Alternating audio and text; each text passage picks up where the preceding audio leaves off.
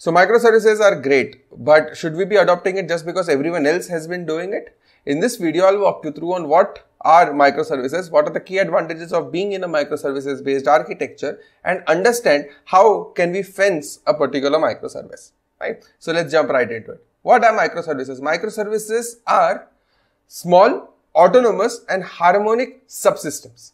Like you have a massive product, let's say an Instagram or a Facebook that product is broken into sub problems and each problem is then handled by a particular microservice and that service is designed in a very optimal way to solve that problem.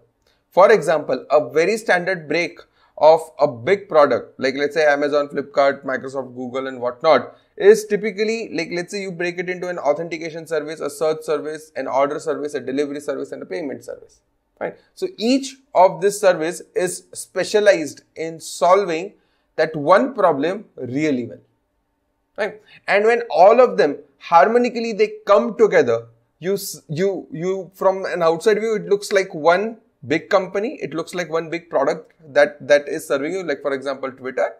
But within that, there are a lot of microservices that are interacted on a regular basis to get your things done. For example, a recommendation service to render your feed or an authentication service to drive authentication.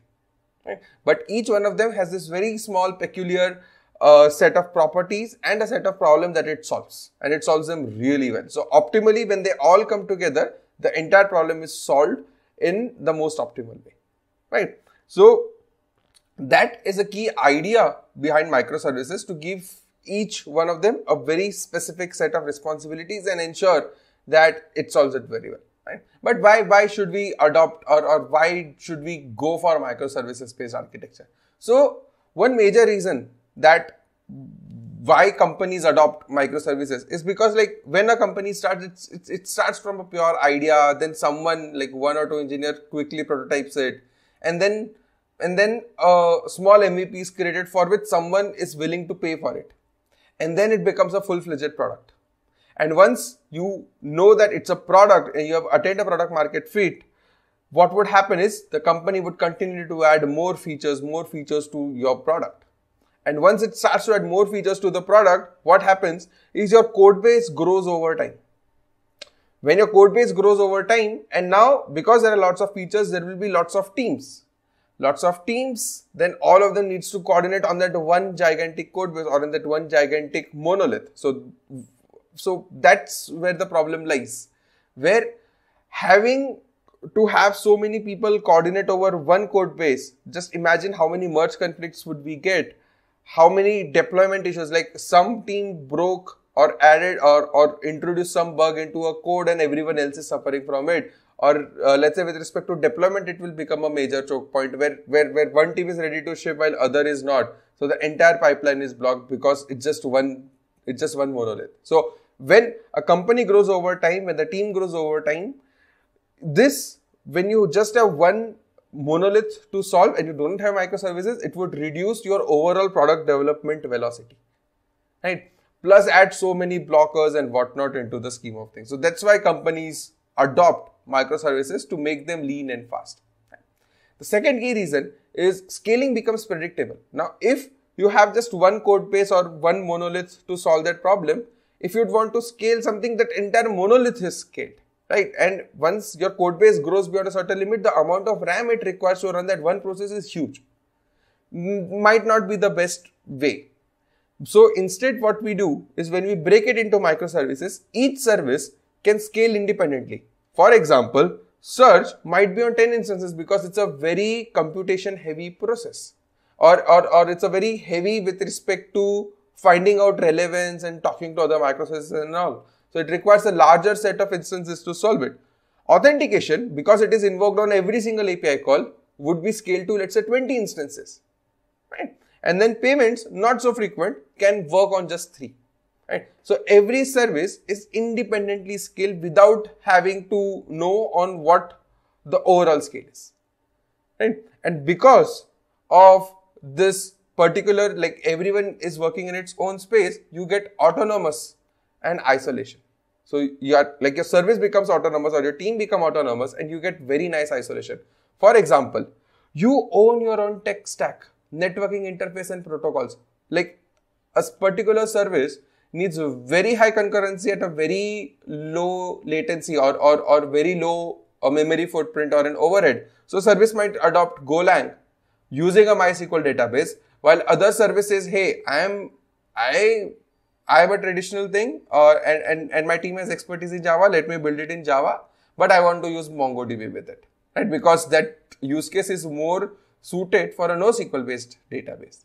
So here, because of the autonomous nature of microservices, every service gets to decide its own tech stack, its own networking protocol. And primarily what happens is they define their own contracts of communication. So service A and service B would agree on a contract that, hey, like for example, service A says, hey, I only understand HTTP. So service B, if you want to talk to me, talk in HTTP with me, right?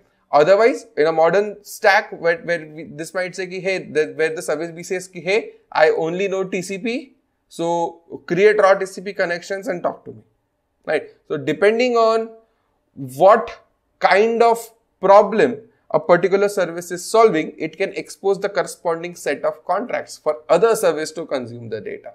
So every service is is autonomous and it's, it's uh, is, is basically autonomous and can, and can take decisions on their own for the kind of uh, API contracts that they would want to adhere to. Right? And you can change your code wherever you want and deploy whenever you want. Like with microservice, with, with just monolith, having just one code base to rule them all or having just one service to rule them all, what would happen? As I said, well, let's say if there are two teams, team A and team B, team A built an amazing feature, they want to ship it, but team build cannot ship because they have their changes partially merged into the main branch and they cannot ship it. And, and so because they cannot ship it, the entire deployment has to stall. Which, what, which is what reduces the overall velocity. But here with microservices, each service can deploy on its own time, at its own convenience. As soon as they are ready, they can deploy. That's the best advantage because it overall uh, it improves the overall development velocity of your team. Right? Then fault tolerance. This is one of the key reasons why, why microservices work really well. Where if a particular service is down, the entire product is not down. Right? Only that service is affected and maybe a few and maybe a few uh, peripheral service. For example, if let's say this is payment service and this is search service. So service A is a payment service, service B is a search service. If search service is down, only that search bar of that website is not working, but everything else is actually functional. So with microservices based architecture, the key advantage you get is even in case of an outage of a service, you might still have a partially working product, which means that the overall experience of your end user is not drastically uh, it, it basically does not drastically degrade. In most cases, your product would actually partially function. Then the final and, and uh, a really interesting reason why microservices is because your upgrades become simpler. Like for example, with time, new technologies come in, new frameworks come in, new database come in and whatnot, right? So obviously something that was relevant 10 years back might not be relevant today. So what you or your team might want to do is they would might want to evolve the service. And, and when they would want to evolve the service, they might want to change the tech stack, be it a better language, be it a better database, be it a better infrastructure. And in order to do this seamlessly, what happens is because each service is autonomous in itself, they can upgrade transparently so long as they are adhering to the same API contracts. So a service can move from Java to Golang without any other service getting to know about it so long as they expose the same set of API contracts that were exposed in Java in Golang. So that is a key advantage where every service can now evolve independently. Okay, hey, today I made a decision that hey, MySQL was the best database for me, but now because MongoDB is there, let me just use MongoDB for that. Right, so they might want to change the database without having others team even affected a bit. Right. So these are the main key reasons why people adopt or why companies adopt microservices or why in general if you would want to adopt, why you should be adopting microservices. Right? And coming to the final part of it, how do we define or how do we fence a microservice? By fencing, what do we mean? Like we know that microservices needs to be small, but small is a very subjective term. It could just be one endpoint, it could be one feature, it could be a set of features. But how? How can we fence a microservice such that it it it's it's better for the it's it's it's better for the overall velocity of a team or of a company. So how small? And this is not just with respect to a management perspective, but also from an engineer's perspective. When you are architecting it, you also need to know ki when should I break things into microservices? Like what is that one fence of a microservice? So the services, when you are breaking it or when you are fencing it, it cannot be too big because if it is too big, it is the problem is same as the monolith right? Because you would have multiple teams coordinating on it, and and then the same set of problem coming, but just at a smaller scale, a problem would be there. You it cannot be too small. Otherwise, there would be so many inter-team or inter-service dependency. Like inter-team, as in when when you have been broken it into very small into into very small services, and then you're communicating. The first problem that would come in is is very costly inter-service communication. And secondly, if each one of that uh, subcomponent is handled by a separate team, then inter-team dependencies. Very, very, very messy. So a good start to breaking things into microservice is go feature wise.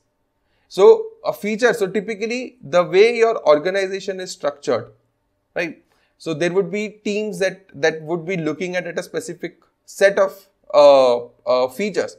So that is a very good indicator on how you should be breaking it into microservices. So for example, there like if if we were to build uh, let's say if we were to, were to build uh, something like a Netflix or, or, or maybe an Amazon Prime, right? So you might have one team taking care of live streaming, you might have one team taking care of authentication, you might have one team taking care of payments, right? So then each one becomes a microservice. So there will be a live streaming microservice, an authentication, a payments, a notification, and delivery, right? So each one of them has its own set of responsibilities, one team to look after it. And obviously, as you grow bigger and larger, each one of them will break into a set of microservices. For example, someone just takes off pre-payment flow. A team takes care of post-payment flow. So then those two become two separate microservices. Right. So a good indicator of that is the way your organization or a team is structured, depending on which you would want to break your things into microservices, Im- overall improving your development velocity. Right? And as an engineer, when you are starting to build or to break your monolith into microservices, this is a very solid way to do to go about it.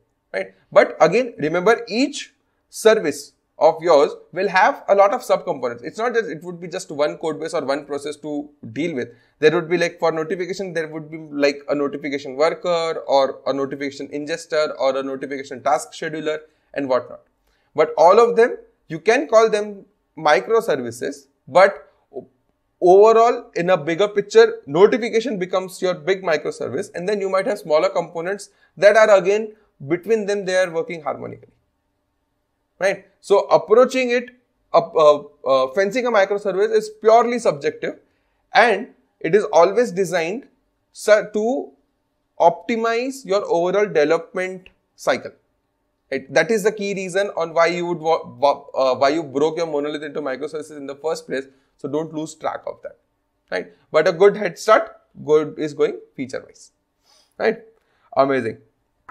Chalo, that's it for this one. I hope you learned something new about microservices. Uh, like it was obviously most of this thing are already there, but just consolidating in one place and giving them a clear idea is what I intended out of this. So yeah, I hope it made sense a bit. Uh, so if you guys like this video, give this video a thumbs up. If you guys like the channel, give this channel a sub and I'll see you in the next one. Thanks, Atam.